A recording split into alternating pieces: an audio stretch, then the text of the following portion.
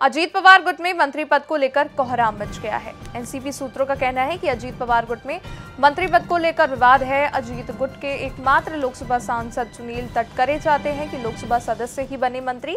वहीं दिल्ली की राजनीति में सक्रिय राज्यसभा सांसद प्रफुल्ल पटेल भी मंत्री बनने के इच्छुक हैं। वो पहले भी केंद्र में मंत्री पद संभाल चुके हैं। दोनों के बीच के विवाद को देखते हुए अजीत पवार के लिए इसे सुलझाना बड़ी चुनौती होगी। इसी आपसी विवाद के चलते अजीत गुट अब तक कोई नाम मंत्री पद के लिए नहीं दे पाया है।